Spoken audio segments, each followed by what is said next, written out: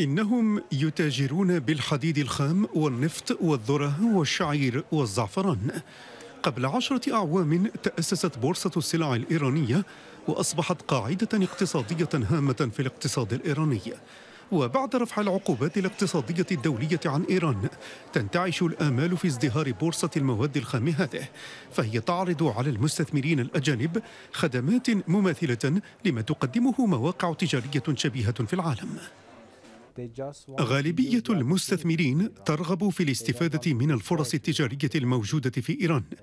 إنها ترغب في استثمار أموالها وشراء البضائع الإيرانية دون أن تضطر إلى القدوم إلى إيران.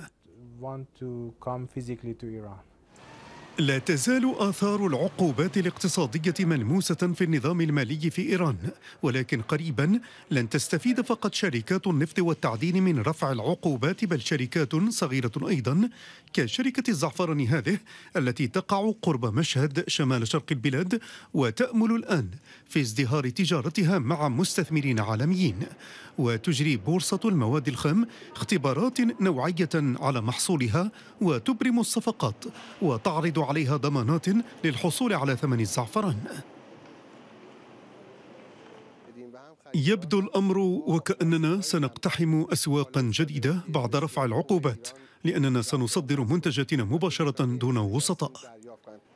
وفي النهاية ستأتي الشركات الأجنبية إلى إيران مما يعني حصول المنتجين على أرباح أكثر. نشاط اقتصادي سيعني توسع زراعة الزعفران وتحديثها وخلق فرص عمل جديدة في إيران.